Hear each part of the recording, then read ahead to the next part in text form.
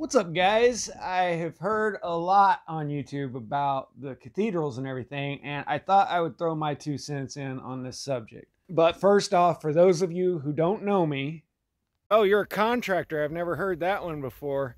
It kind of made me laugh, so yeah. You know what being a contractor means? It means that you're out fixing things and doing work when it's freezing cold out.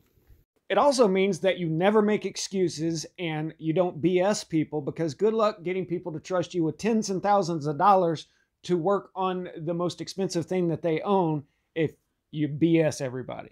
And hey, how many of you wouldn't want me to come and take your old kitchen that looked like this and make it look like this? I can't wait till I can do it to mine. But I can't blame anybody for questioning that claim. I've heard a lot of claims in the comments that I can see right through. the difference being a true craftsman will never miss an opportunity to show off their work. Now, what does modern building have to do with Gothic cathedrals? Well, if you don't see the forest that went into building this cathedral, then stick around because before any of those arches were built, the carpenters built everything out of wood first and you may think I'm completely full of it, but honestly, I would not have any problem whatsoever managing this project, even though I've never cut a stone block in my life. Just like I've worked for other contractors that don't know how to run a saw or a nail gun. What's important is understanding what has to be done and what order to do it in. So I'm going to give you guys a basic course on the fundamentals of construction, and then let's see what you think about this building after that. Now, nobody's arguing that this wasn't built by an advanced culture, but my idea of advanced engineering and your idea may differ because a lot of people think that this could only be built with advanced machinery. And I know that construction is a lot of skill and a lot of hard work, and that today's power tools only make the construction process faster, but it's not necessary. And just real quick, I want to go through the different types of construction. Here we're looking at St. Patrick's in New York. And to just look at the finished product, you'd think that this was built the same as Cologne Cathedral that I was showing just a moment ago. But the fact of the matter is, this is all wood framed and stuccoed. Looks just like stone in the finished product. This is the exact same type of construction as was used for the World's Fairs and these magnificent Tartarian structures that burned down and killed a bunch of people. And compared to the ancient Roman or the Gothic style of architecture, this is 50 times faster, 50 times cheaper, and 99% of this is all done by hand. You don't need cranes, you don't need forklifts, you don't need anything. These are just put together piece by piece, and you know, boards are not that hard to handle. And once the wood framing structure is done, then you just stucco over the top of it and it looks like stone. Now let's break this down into the independent parts. An important fundamental structure to understand is the Roman arch. In masonry, this is required for any opening that you're going to have in a wall, a door, a window, whatever. Modern day, we use structural steel. This is called a window lintel, but you have to put that in there to support the weight of the bricks up above. Before structural steel, there was the Roman arch that takes all of the weight of the masonry up above and directs it down to each side of the opening. While looking at a bunch of random photographs, I really don't have a good way of telling if this was built there on purpose or if not, because basement windows are a very good thing. Not only can you get airflow into an area that's prone to be damp, but also any of the larger buildings being built between 1700 AD and 1950 would have had boiler rooms down in the bottom that powered the radiator heaters that were in all of the rooms. My grade school still had these in there. And hey, people are smart. I mean, as long as they have good nutrition like we did do today, then they were just as smart as we are, if not smarter. So now you know when looking at random photos of old buildings that that arch has to be there for any opening doesn't matter where it's at on the elevation of the building. While we're at the ground level, let's talk about foundations. The bigger the building, the deeper the foundation has to go. Every one of those tiny looking yellow lifts that they're using is the size of a bulldozer and it probably extends up about 50 feet. And I just want to say that the street levels of some cities have changed, some by catastrophe and flooding, some by man made structures. But it's really hard to tell which it is by random photos. Let's look at La Sagrada Familia. Construction of this began back in the 1880s, so we do have photos of all the different phases. And it was just completed a year or two ago, I believe. Even with modern machinery, it is a rather audacious endeavor to build a cathedral. But look down at the bottom right there, and what do you see? These are the purpose built crypts underneath of the cathedral, and you can judge by that tree, say the tree's probably 30 feet tall, so this is at least 60 feet down into the ground. They built these crypts underneath because back around 13th, 14th century, the way the Catholic Church financed their cathedrals was to sell indulgences to people, which not only bought you forgiveness from your sins, but also that of your ancestors. They'd tell you that your father's going to burn in hell if you don't pay an indulgence. So, you know, what are you going to do? Then in the older cathedrals, they would sell burial plots underneath the finished cathedral, just dig a new grave. And this progressed into them just making vaults underneath the cathedrals. Now, if you're into buried cities, look at Rome. It goes down 200 feet underneath the city streets of today. But um, some of this stuff was built intentionally.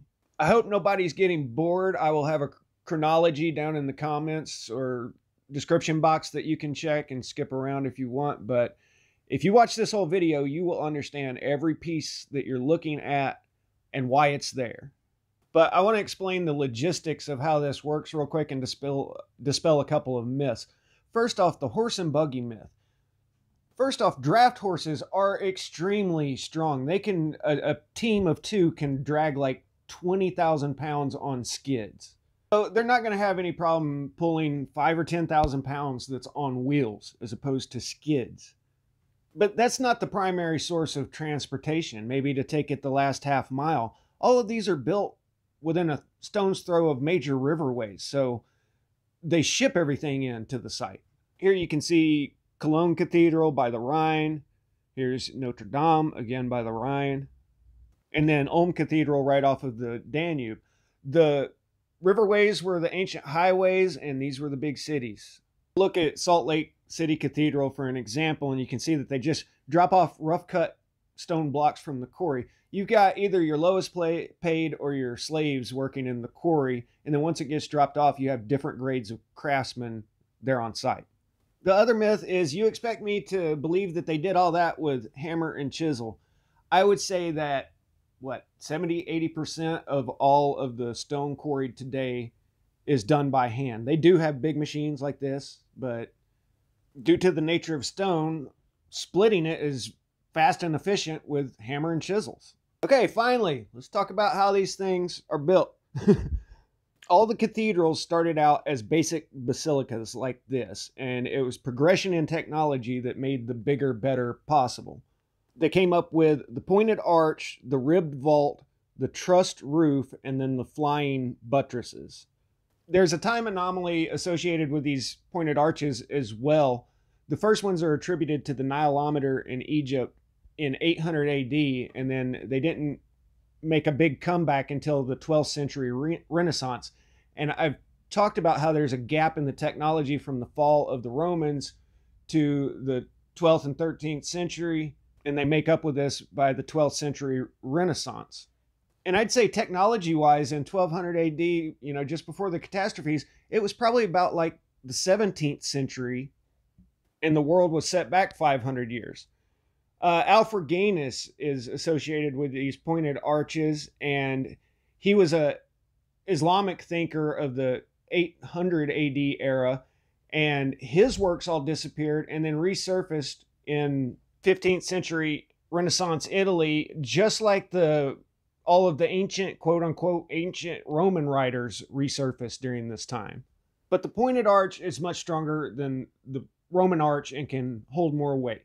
So when you have an arch, it's pushing out laterally from the center. And they wanted to keep building higher and higher with these. So you had to install buttresses to counter that force that's pushing outwards. The buttresses add what's known as shear value or shear strength. And I describe this to customers as if you have a cardboard box and the bottom of it is taped and you turn it up on its side and you push down on it, it's going to be stiff and rigid. If you cut that tape loose, then it, the box will collapse because you've taken away all of the shear value. Now, it would have been simple to add just triangle buttresses like this, but all of those big stained glass windows, they want as much light getting in as possible, so they refined this. They came up with flying buttresses held up by spires so that you can transfer the load out and down. You still have all of the same pieces that you started with, only now you're letting all kinds of light in through the beautiful stained glass windows. And here we can see, I think this is Salzburg Cathedral, that was an old basilica that was run down for hundreds of years. The townspeople were making fun of it. The Protestants didn't like the big gaudy churches that had been built there previously, so they sat empty. Finally, there were calls to restore it, and you can see here the first thing they did was stabilize where the ribbed vaults that I'm going to show you in a minute connect on the exterior. Now you understand the principles of the pointed spire and the flying buttresses to support these ribbed vaults that are on the inside.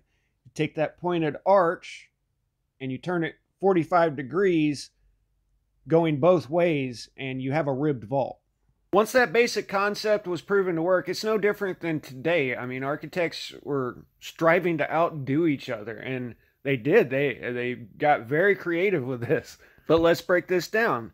You have the two main pointed arches forming the X, and then you have legs coming down to another pointed arch coming up. And then in the center, I don't even think that was necessary. That's probably just decorative planted onto the bottom. But I don't mean to downplay this. This is an insane level of craftsmanship, and I'm sure fortunes were made over this. Or maybe they did do it for the glory of God. I don't know. We'll get into the builders in a different video. I probably should have explained this earlier, but now's a good time. For all of the flying buttresses and all of the pointed arches, every bit of it has to be made out of wood first. So entire forests were cut down, and all of this was made out of wood first, and then the stone shaped to the forms. Here you see they're shoring up the flying buttresses and transferring the wood back to the weight partially while they're doing the construction. And a couple years ago, I kept hearing, how do these stone buildings burn down? And then Notre Dame happened.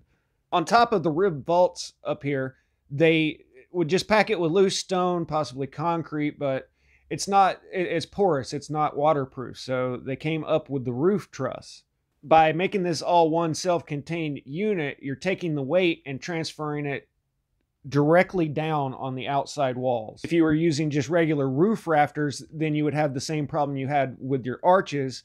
You'd have the outward force and you would need flying buttresses up at the top. The earlier cathedrals, before they came up with the roof truss, and they've got the extra row of buttresses up very high right there. For the renovation at the Notre Dame Cathedral, they are using all of the methods that they used back in the 13th century when they started this stuff. They're doing it completely by hand, start to finish.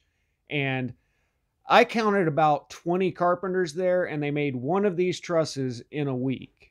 And I think they said they need 52 of them. So one year to complete all of the trusses. That's really not bad. And here they're doing a test run of their pulley system on the ground before they go up and attempt the real thing way up in the air. Now, as far as the stone cutting, you would have had different grades of masons out on the job. And like I said, they, they probably made, they did make fortunes off of this and started their own little sect over there. But the best of the best was doing this kind of work and, you know, the intricate spires out front and all of that.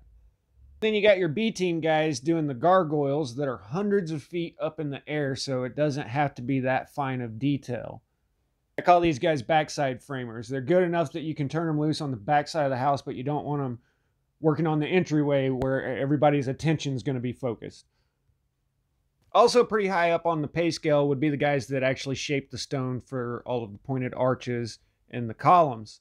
Now, I'm assuming that they actually did all this with hammer and chisel, but I do want to show you guys a couple of old guys, three old guys with hand saws out in a limestone quarry, can cut this big, huge block in an afternoon. So you get a whole bunch of healthy young men out there and you can get a lot of work done. The cathedrals are made of relatively soft stone, sandstone, and limestone, and so forth. But there's some nice clean cut blocks ready to stack.